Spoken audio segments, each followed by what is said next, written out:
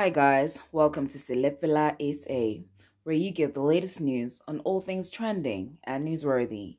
Now don't forget to like, share, and subscribe to my channel. Also, don't forget to hit that bell so you never miss any of my uploads. Maria Zibola from SABC2 soapy 7de Laan has sadly passed away. Confirmation of her death came on the 9th of December at the age of 70 by the soapy's publicity manager, Kaylee Bissett. Maria played the domestic worker for Hilda and her husband Obas for 13 years. Maria Zibola, whose real name is Themsie Times, left the show in 2016, but her character will always be remembered as a kind-hearted, outspoken person who loved her money for her home back in QwaQwa. Haley shared the news and said, It is unfortunately true. As far as I understand, she passed away yesterday. She's obviously not been part of the show for a very long time. She's always been an integral part of the show.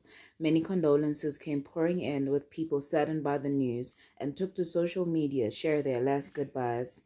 Among other projects she has been on, the star was featured on Yizo Yizo and Cry the Beloved Country. After leaving 7de Laan, she said she just wanted to focus on herself and God. Condolences to the family.